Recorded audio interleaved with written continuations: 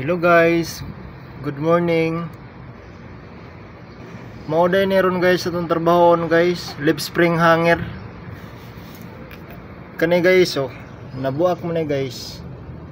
Ato ning weldingon guys.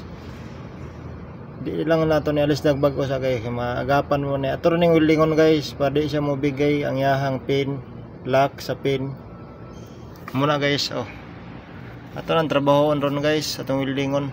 Pero bago na to na weldingon guys, ato ang tanggalon ang battery cable guys, katong yahang negative ground.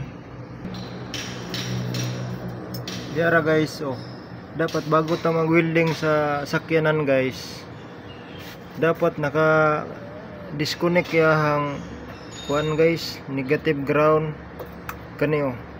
Dapat ato ning gi ginatanggal guys para dili siya ma kakuan ma grounded ang iyang electrical system. In case na sa grounded dili siya mapektuhan kay nakatanggal man iyang negative ground sa battery guys.